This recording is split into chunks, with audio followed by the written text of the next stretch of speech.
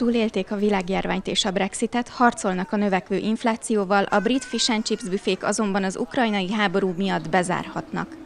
Békeidőben Oroszország a brit halfogyasztás 30-40%-át biztosította, Ukrajna pedig a rántott halhoz szükséges napraforgó olajat. A büfé tulajdonosok a szankciók következményei miatt aggódnak. Nem tapasztaltunk ilyet egyetlen hozzávaló esetében sem, mondja egy büfé tulajdonos. Azt hiszem, a 160 éves történelme során a fish and chips mindig olcsó volt. Mindig alacsony árréssel dolgoztunk, a mennyiségre összpontosítottunk. A magas infláció miatt pedig nehéz, hogy jó árréssel dolgoz. Aztán ott van az áfa is. Mindkét oldalról szorongatnak, nagy a nyomás a tulajdonosokon, állítja Andrew Crook szakszervezeti elnök.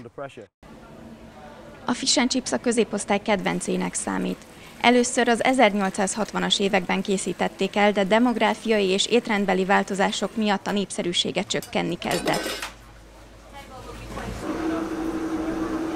Szerintem az olyan országok, ahol sok fehér halat halásznak, például Norvégia és Anglia is, Oroszország helyébe léphetnének, de ehhez idő kell.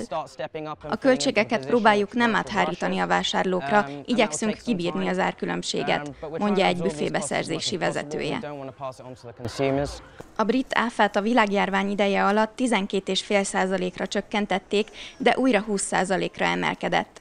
Ez azt is jelentheti, hogy az ország 10 ezer fish and chips büféjéből akár 3 ezer végleg be is zárhat. Vannak azonban olyanok, akik az áfa növekedés ellenére is a fish and chipset választják.